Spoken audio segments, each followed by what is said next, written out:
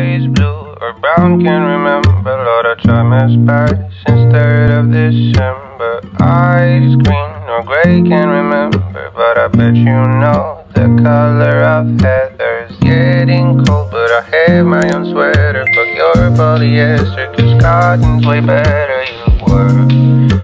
Hello you guys, welcome back to a tutorial on how to add um, different fonts into Pixlr E. So the first thing you want to do is you want to go ahead and open up a new tab, so Google, Microsoft Edge, or Explorer. Also, this um, doesn't work on mobile because Pixlr doesn't work on mobile. So Pixlr E, which is the one that we're going to be using today. But you can also add the fonts into Fonto, which is a mobile app. But I also have a tutorial on my channel that you can also use to see how I do that. So first you want to go ahead and open up a new tab and you're going to search the which is where I like to get all of my fonts. And then just find a font that you want. And if you want some font recommendations, you are free to go ahead and check out my um, 35 different aesthetic fonts video, which I will leave the link in the description. So I'm just going to use Jungle and then I'm going to download it you can search around and if you found one that you liked from my video or from somebody else's video just go up here to the search bar and then search and it will it should pop up. Okay. So i'm going to use jungle. I'm going to download it right there. It downloads as a zip file. Next you want to go ahead and open files in your pc Fantastic. and you want to go ahead and open downloads. Next you're going to click on new folder. And you're going to rename that folder fonts. Since I already have two font folders, I'm going to name it fonts 3. Then you want to go ahead and drag that folder over to quick access and it should put it here. Fantastic. As you can see, it's right here. Next, you can go ahead and close that um, file page and just click on the jungle file right down here. Click on the arrow and then show in folder.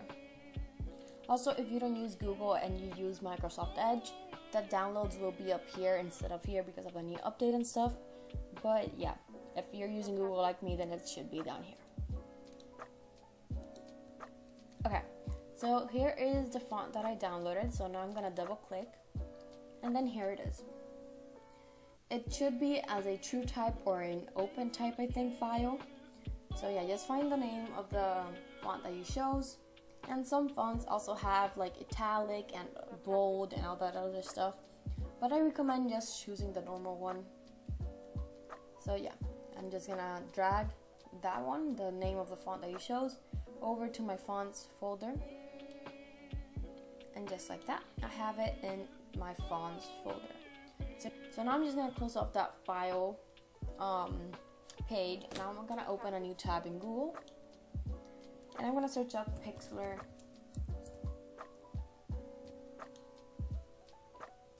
And then it should be the first link that pops up. Make sure that it's that link.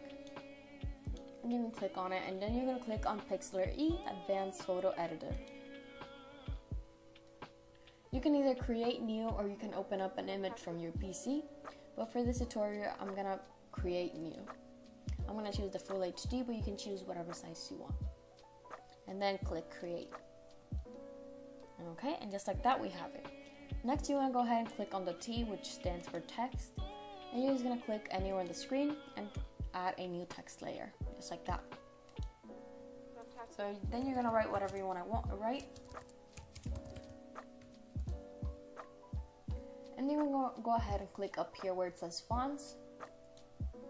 Click on the drop down menu and then go all the way to where it says add local font. Next, you're to go ahead and open up your fonts folder, which is open. And you're going to click on the font that you chose, which is this one. And then just open, and there it is. As you can see, there you have your font.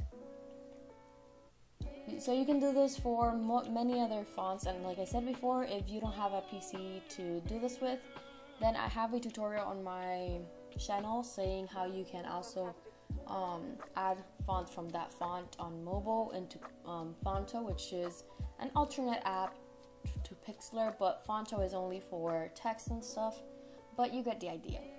So yeah, if you need any more help, comment in the comments down below and let me know some more tutorial ideas to do. So yeah, and I hope I helped you guys. So I'll see you guys on the next one. Goodbye, Royals.